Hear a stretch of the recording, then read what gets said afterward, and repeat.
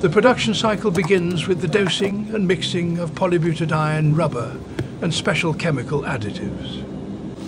The process occurs in a high precision mixer to ensure the homogeneity of the core material.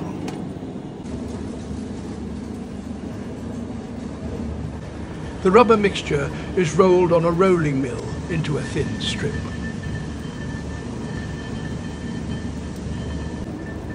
The material then passes through an extruder, where it is compacted and takes the shape of a long rod. The rod is cut into small core blanks. The blanks are evenly distributed into molds. In a compression press, the rubber is vulcanized under pressure and high temperature, forming a solid and elastic inner core.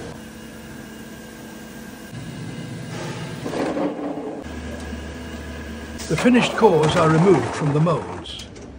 They are fed into a tumbling barrel for centrifugal processing. This removes flash and ensures perfect sphericity before mantle application. The calibrated core is loaded into the mould for casting.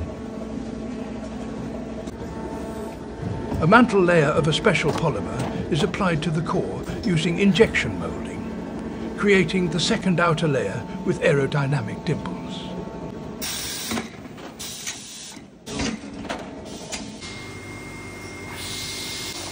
The moulded balls are removed and undergo grinding along the equatorial line.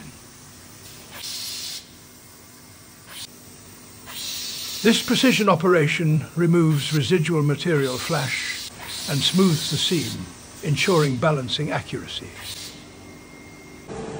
The balls are thoroughly cleaned and fed onto the conveyor of the spray booth.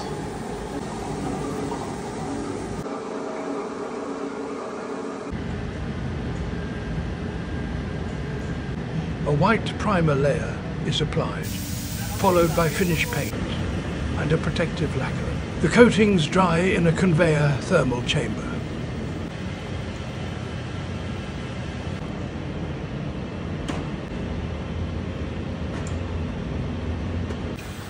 The company logo and model marking are applied to the surface using pad printing. Each item undergoes physical and visual quality control, checking weight and size, after which the product is packaged.